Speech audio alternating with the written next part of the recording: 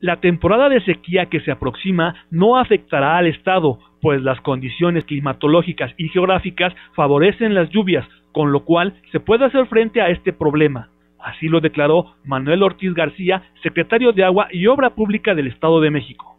Este, hemos tenido mejores condiciones nosotros, eh, pero la sequía más fuerte fue la del 2010 en, en el norte del país y esa es de la que, bueno, pues ahora ya se han estado sobreponiendo.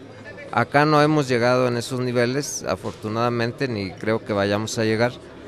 El funcionario indicó que la población resentirá una baja en el abasto, pero esto será temporal, por lo cual exhorta a la ciudadanía a no abusar del vital líquido en tareas que no son primordiales. Una vez que se restablezcan las condiciones, se restablecerán también los, los abastecimientos. Lo que tenemos que hacer es tomar previsiones para evitar un desabasto en el mes de mayo o probablemente junio y julio, si es que las lluvias se nos retrasan, como ha sucedido también ya en otros años.